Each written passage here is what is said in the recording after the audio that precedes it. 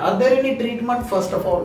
Uh, initially, uh, we had uh, certain medicines which are oral tablets and some patches. Mhm. Uh, like uh, memory to improve, cholinergic output was needed. So they had cholinergic drugs Okay. called donepezil or rivastigmine. You know, Mhm. these are the examples. And then next came memantine, which is anti-glutamate. So Mhm. to reduce the glutamate toxicity, to retard the disease progression. But these are very, very mildly effective Mildly effective. effective. Yeah, it's not very.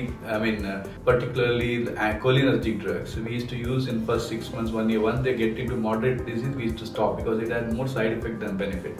So Than this can be used only in mild, uh, my category? no that particular drug. One is donepezil. Yeah. Then second drug, uh, memantine, is used in moderate to severe dementia, Okay. just to give a support, but it didn't really retard the disease progression or it didn't stop the disease from progressing. Okay, Now this is called anti-amyloid therapy. Anti-amyloid. So, Yes. uh, so the the conventional drug you mean to say they were just for the symptoms rather than the actual disease Yes, uh, yes, retardation. yeah, yeah.